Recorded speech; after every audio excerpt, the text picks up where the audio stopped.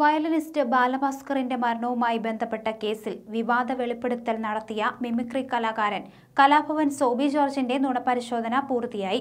ചൊവ്വാഴ്ച ഉച്ചയോടെ ആരംഭിച്ച രണ്ടാംഘട്ട നുണപരിശോധന വൈകിട്ടോടെയാണ് പൂർത്തിയായത്.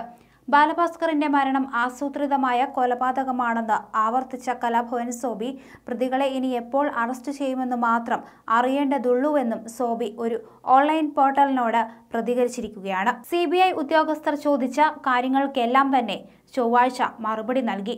കഴിഞ്ഞ തവണ നൽകിയ മൊഴിയെക്കുറിച്ചും ഉദ്യോഗസ്ഥർ വീണ്ടും ചോദ്യങ്ങൾ ഉന്നയിച്ചു.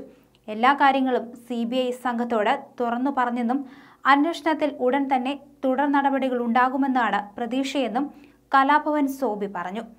കേസിൽ ഏറെ ദുരൂഹതകളും മൊഴികളിൽ വൈരുദ്ധ്യവും നിലനിന്നിരുന്നതിനാലാണ് നാലുപേരെ സി ബി ഐ നുണപരിശോധനയ്ക്ക് വിധേയരാക്കിയത്. കലാഭവൻ സോബിക്ക് പുറമെ ബാലഭാസ്കറിന്റെ സുഹൃത്തുക്കളും സ്വർണക്കടത്ത് കേസ് പ്രതികളായ വിഷ്ണു സോമസുന്ദരം പ്രകാശൻ തമ്പി ഡ്രൈവർ അർജുൻ എന്നിവരെയും കഴിഞ്ഞ വെള്ളി ശനി ദിവസങ്ങളിലായി നുണപരിശോധനയ്ക്ക് വിധേയരാക്കിയിരുന്നു. എന്നാൽ കലാഭവൻ സോബിയിൽ നിന്ന് കൂടുതൽ വ്യക്തത ആവശ്യമായതിനാൽ ഇദ്ദേഹത്തിന് രണ്ടാമതും നുണപരിശോധന നടത്തുകയായിരുന്നു.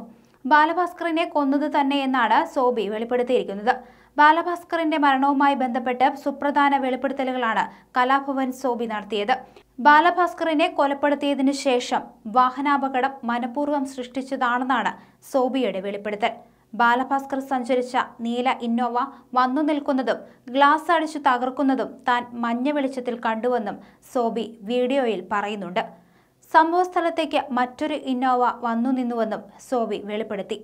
തന്റെ അഭിഭാഷകനായ രാമൻ കർത്തേക്കും ബാലഭാസ്കറിന്റെ കസിൻ പ്രിയ വേണുഗോപാലിനും വേണ്ടിയാണ് താൻ ഈ വീഡിയോ റെക്കോർഡ് ചെയ്യുന്നതെന്നും സോബി വീഡിയോയുടെ തുടക്കത്തിൽ തന്നെ പറയുന്നുണ്ട്.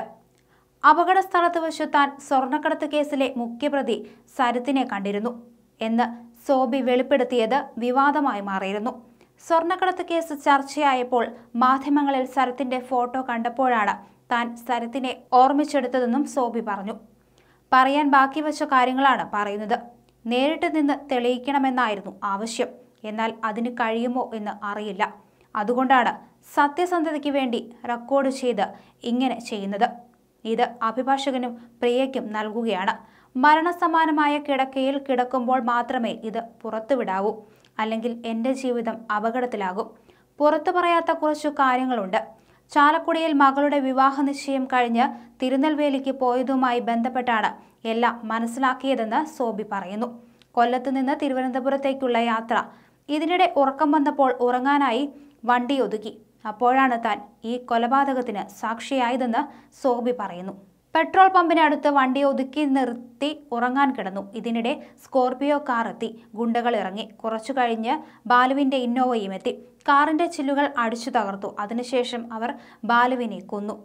ഇതാണ് സോബി വെളിപ്പെടുത്തിയിരിക്കുന്നത്.